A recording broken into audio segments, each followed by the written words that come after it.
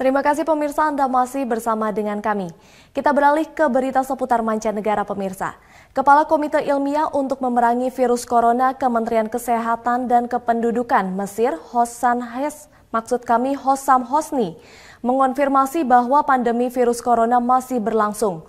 Hosan Hosni membenarkan bahwa ada subvarian Omikron baru BA4 dan BA5 yang menyebabkan lonjakan jumlah kasus. Kepala Komite Ilmiah untuk Memerangi Virus Corona di bawah naungan Kementerian Kesehatan dan Kependudukan Mesir, Hosam Hosni baru-baru ini, mengonfirmasi bahwa pandemi virus corona masih berlangsung dan Organisasi Kesehatan Dunia WHO belum mengumumkan pandemi berakhir. Hosam Hosni membenarkan ada subvarian Omikron baru BA4 dan BA5 yang menyebabkan lonjakan jumlah kasus. Dia menyarankan semua orang untuk terus menerapkan semua langkah kehati-hatian dan pencegahan guna menghindari terinfeksi. Hosam Hosni menambahkan bahwa dunia tengah mengalami peningkatan jumlah kasus infeksi virus corona.